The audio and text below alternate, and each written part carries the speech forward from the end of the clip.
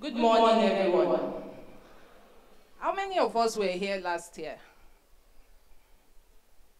Hmm. Those who weren't here really missed, but I know you'll make it up this year. Before I go into my speech, I would like to um, appreciate the organizers of this program. They've really, really done a good job. Their publicity is one out of a million.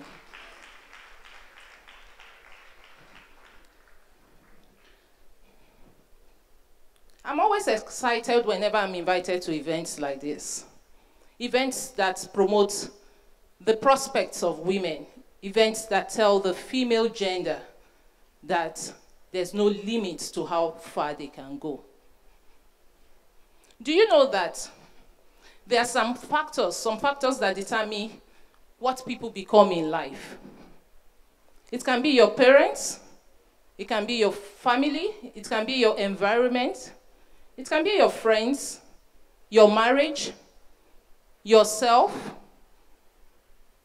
your cultural background, and so on. Out of all these factors, which of them do you think is the greatest determinant? Can anyone answer this question? Yourself. I'm happy many of us know the answer yourself. Let me give some examples.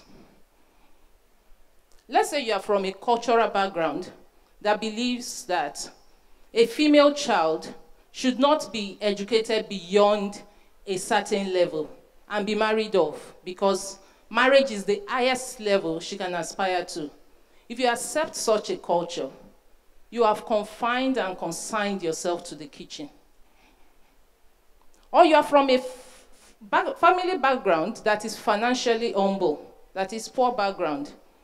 And all your life, you've never seen anybody that is financially comfortable.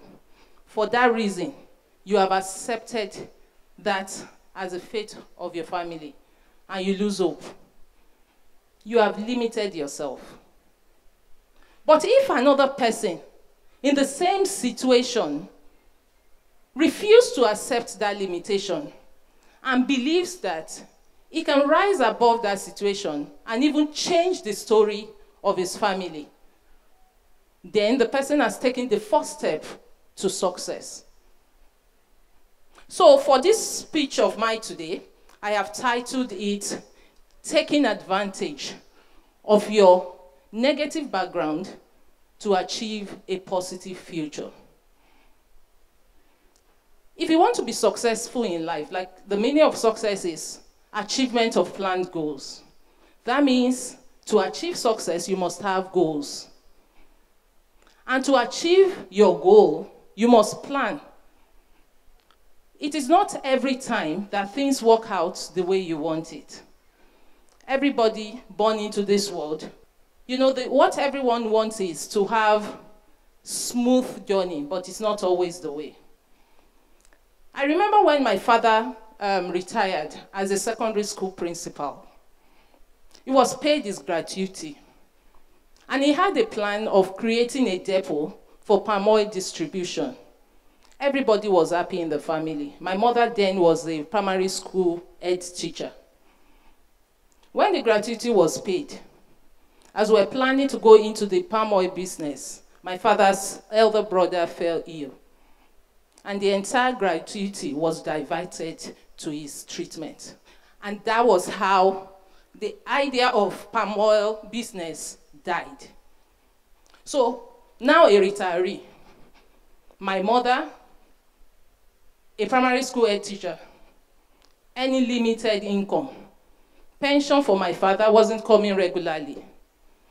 Things became so tough to the point that the only 504 car that the family had was painted into a taxi in order to generate more income. And we gave it to a taxi driver. He would drive from Monday to Saturday, and the vehicle was only available for the family's use on Sundays when we go to church. So I sat down, I looked at it. I, I was there when we had the good fortune, when my father was still in, um, was not yet retired, when his gratuity was paid, when our only car was painted to taxi, I looked back and said, one thing I didn't allow is to allow that situation to weaken my spirit. I told myself, I looked at my parents. I said, I must be successful in life. I must change the story of these parents. And at that point, I was determined and took it up and said, Jumoke, you know what? You must be successful. And the first demonstration of my determination was in the choice of secondary school subjects that I, I chose, upper, upper secondary school subjects, you know. You have to, your, your choice of subjects will determine what you, um, you study in the university. I sat down and chose my subject in such a way that I will have university courses option. So I chose them in such a way that I could be a pure scientist, a social scientist, or, a, an, or uh, a, a graduate of art. Because I didn't want to leave any room for failure. So in a bid to study a, a course that would give me um, joy in the university, I searched for a course that I have passion for, and I thought of civil engineering. I thought of computer engineering. My parents were like, those are male-dominated courses.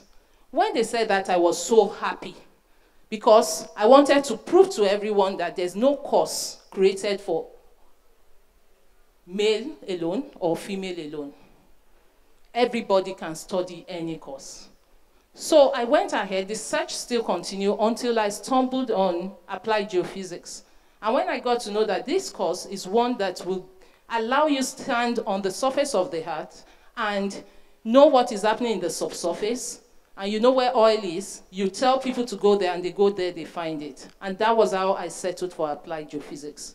Nobody understood the course I wanted to study. I explained to my parents, they didn't understand. But one thing I appreciate my parents for was that they didn't tamper with my choice of course. I had passion for it. I had looked at the course content and I loved it. And they told me, go ahead if it was what you loved to do. I got to the university, 300 level.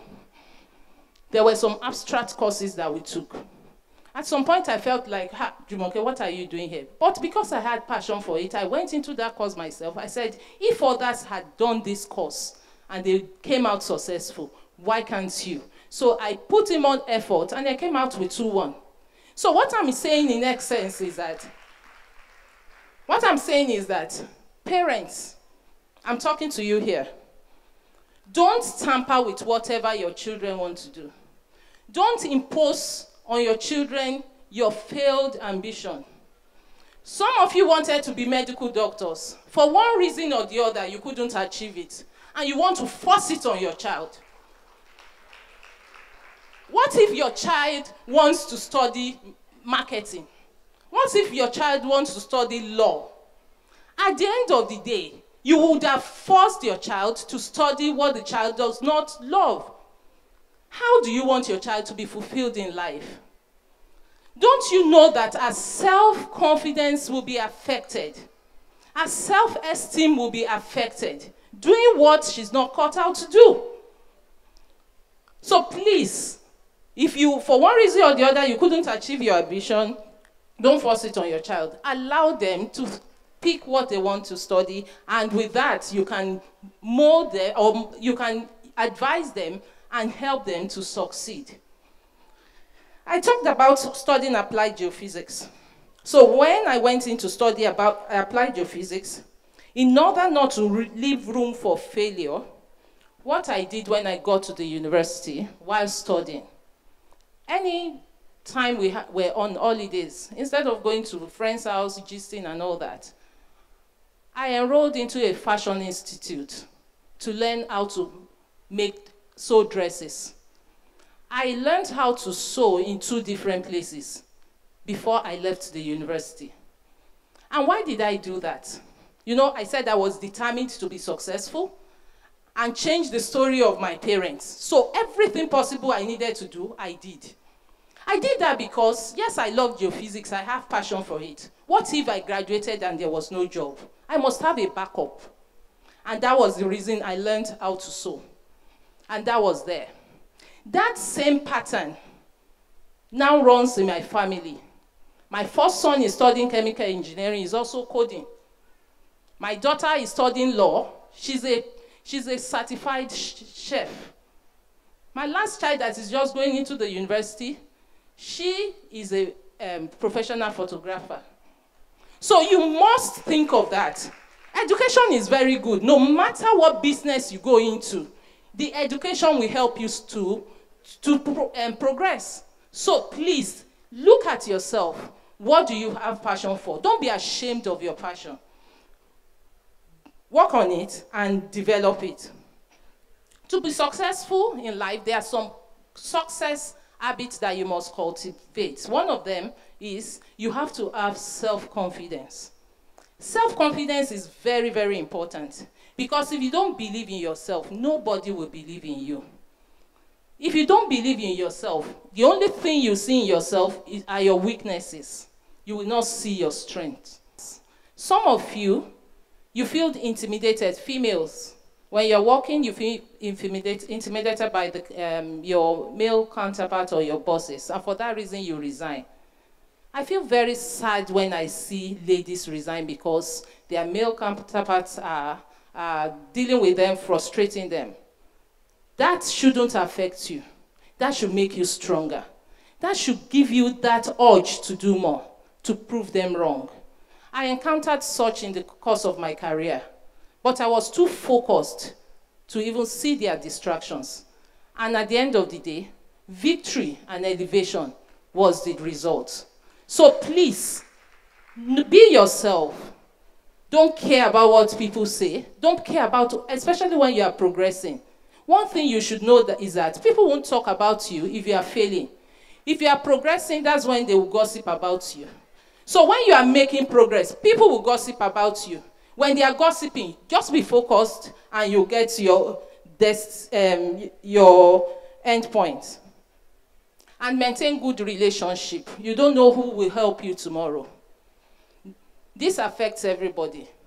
House helps, the way you treat them at home, you don't know what help that person will be tomorrow. It will be the one that will lead you to your place of destiny. Look at, at workplace, your subordinates, your bosses, maintain good relationship.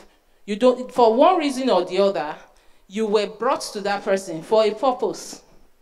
Anytime you meet anyone, don't think of, you know, creating a thread with a person. Just maintain good relationship because tomorrow the person may be of help to you or even be of help to your children. Good relationship is very important. I joined Sahara um, about nine years ago as exploration manager. I was the first female explorer, uh, uh, uh, you know, I'm still the, the first female uh, exploration manager. I came in, designed the wells, like you heard from my um, the citation, I designed the well, drilled the wells with my, my, my team, and later I was elevated to the position of general manager exploration. There's a well we drilled.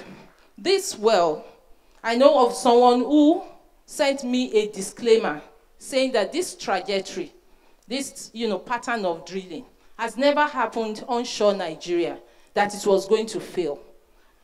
I told him that I would take responsibility. I designed that well. We drilled it and it was a success. And it is the first of its kind in this industry. That well was designed by a female. So if a female could do that, who says you can't do it? And we went ahead and drilled our wells and delivered the first three wells ever for Sahara Energy. And today, we can boast of producing from those wells and some others. We have, we have about 12,000 barrels we are producing from, from, not from all the wells, and we are ramping up production as we speak. So I became the first general manager exploration, first MD, um, female MD for, for Sahara Energy, and we've delivered today. Nigeria, all these are done by a female. So why will you say that a profession or a, a, a you know a, a, field is only for men? It is male dominated. We are all you know we are interviewed on the same day. The company who interviewed you has a target and he wants you to deliver. He will not say because you are a female, he will leave some part of the responsibility aside. You have to demonstrate if you want to progress. You have to be hardworking, and you must stop saying that, eh, you know, we are in the same department, you are a man, you go and do it, I'm a woman. You cannot progress. So please have that behind your mind. I became the MD when oil price dropped from 100 plus to $30 per uh, barrel where most companies were laying off people and some even closing down. And I was mandated to keep the company alive. During that period, we reduced our operate, um, OPEX by 52%, and we never laid anybody off. How we, kept, how we did it without laying anybody off is a story for another day, but it was achieved. So, we are all here today. I know, do we have students here? If you are here, raise up your hands. Let me see you. And we still have singles amongst us here. Let me give you a secret. That really worked for me. Because when I give my talk, I always want to share my own life experience. I know it will bless one or two people. Before I accepted my husband's proposal, because I had a, you know, I had a plan. And I didn't want anything to stop my plan, achieving what I have you know, laid down. I know God is the one that leads us, but I have a plan to be successful. So when he asked me if I would marry him, my question to him before accepting the proposal was, do you want a house, full, house, a full-time housewife or a career lady? He said a career lady. I asked him the reason. He said because it will give you your, uh, the lady a self-esteem. I said, okay, that with some other reasons, I accept your proposal. And that is one of the secrets of my success to date. My husband has always supported me. I travel a lot.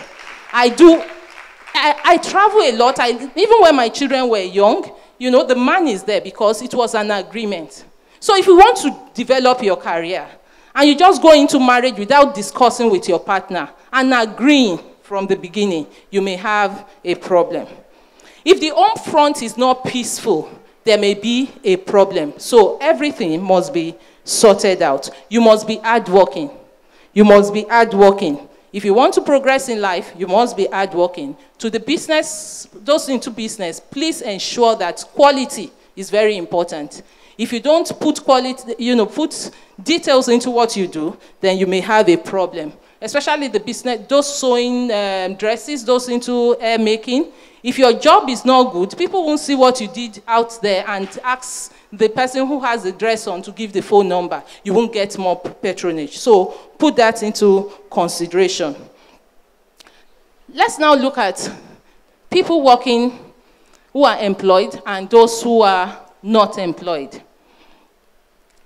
I feel very sad when I see fresh graduates, those who have graduated for many years, sitting at home in the, in the, in the um, searching for job, for white collar job. Who says you are meant to be an employee? It's not everybody that is cut out to be an employee, and it's not everybody that will be an employer. I have a cousin. He tried to travel out for his master's degree, and he tried, I think he was denied visa, UK visa for four times. At the end of the day, got frustrated. Then one day, he just walked around the streets where he lived and was searching for opportunities. So he discovered that sachet water, what we call pure water, was sold in that street, was brought from another, another um, area far from that, the area where he lived. Then he went to his father and said, his father should give him the money that he had set aside for his masters abroad to enable him start pure water business. Today, he has many trucks. He's not only producing sachet water, he produces water in bottles and into the dispenser bottles. And he has traveled to many countries in the world with his family on vacation. He has not, so the so-called master, his masters, he never went abroad to study it. And he goes, nobody has ever denied him visa after he started his business. So why don't you look around you? Who says you must all work in an oil company? Who says you must all work in a bank? Who says you can't use your, there are many of you are good cooks, Can't you think of using your mother's kitchen to start cooking and taking food to schools or, or, or, or offices? You start from there. And you, who knows, you can become the tantalizers of tomorrow. Some people lose their jobs. They think that's the end of the world for them. Why don't you think that it could be blessing in disguise? A door cannot close if another one is not open. But if you don't keep your mind open, you will not be able to reason. Such a mindset will allow you to reason and be able to see opportunities around you. Why don't you, when you're not employed, I'm talking to the graduates that are not working, why don't you try to volunteer? Just go to companies and say, please, can you allow me to come in? I don't need your money. All you need is the experience. Once you have the experience, it will put food on your table. I experienced this. Like I told you, when I talk, I don't talk theories. I talk from my own personal experience. I went to a man who works in the oil industry. He's one of my mentors today. He started his own small business. I walked into his office. I said, I did an interview with one of the um, multinationals, and I was expecting my letter. They told me I was successful, but the person to sign my letter traveled to outside the country for on vacation. I said, let me come to your office and start gathering experience pending when that letter will come. He allowed me because I said no pay. So I would leave my house 5 a.m. in the morning, go to his house because he was using his boys' quarter as the office. He had only two staff. I was number three, so one of his pioneer staffs. He will, uh, the house help, the domestic staff will give me the key to the office, to the boys' quarter around 6 a.m. I will open, start working, cleaning the whole place and all that. And at the end of the month, he paid me. He said that there were some skills I brought that they didn't have within the system. And that was how he employed me. Do you know that what has made me today in this oil and gas industry, that has helped me to excel to the point I am today, majority of them I got from that company. So what if I had sat at home doing nothing, just waiting till that letter, that letter never came, but I never thought of it again. So God led me to that place to gain the experience that will help me become what I, I am today. Experience is something that can never be taken from you. Don't care how the experience comes. Don't think about the money. Money is good, but it's still secondary, secondary in the scheme of things. So please, if you can get a place you can go to and still have the, um, the the uh, few naira to take you to the place. Go and gather the experience, and it will go a long way. So I will be rounding up now. In conclusion, you can now see that that timid lady, the lady that was timid, because then my siblings, my entire siblings were outspoken, I was timid. To the point that sometimes when I'm walking, I'm always walking like it was that bad. It was really bad. But that same lady became exploration manager, is the first vice president of the largest technical association in West Africa. In 40, in 40 years of its existence, it wasn't that I just I was just put on that seat. I contested with three, two other long-standing people in the industry, and I became the first female vice president. So one One thing you need to do, just be determined. Know what you want. Once you are determined, believe in yourself. If there's anything you need to do that will take you there, I'm not saying doing, do it illegally, do things that are legal. Don't care about the person that will put you through. If it's even somebody younger than you, go to the person to teach you. If he teaches you, they will not put it on your forehead that so-so person was the one that helped you. Don't be proud. Many women have um, succeeded in their, in their various um, areas of um, their various careers. Some of them are Ibukun Awosika. Some of them are the women sitting here today that will be speaking to you.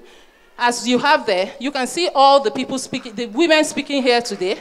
You have our sister, you have everyone, even this woman that had to sacrifice herself to eradicate um, the spread of Ebola look at everyone there. They have succeeded.